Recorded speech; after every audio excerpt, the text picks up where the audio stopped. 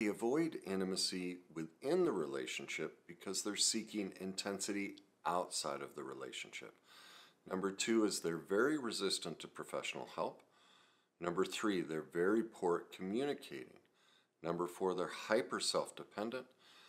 They're controlling and critical, very secretive about who they are and what they're doing. And finally, they limit their physical affection.